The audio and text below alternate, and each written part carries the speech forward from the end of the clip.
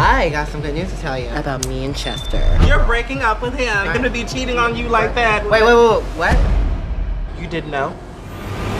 Whoa! What the? Sin-Dee's back on the block? She's back and she's going hard. The world can be a cruel place. Yes, it is cruel. God gave me a penis. Out here, it is all about our hustle. And that's it.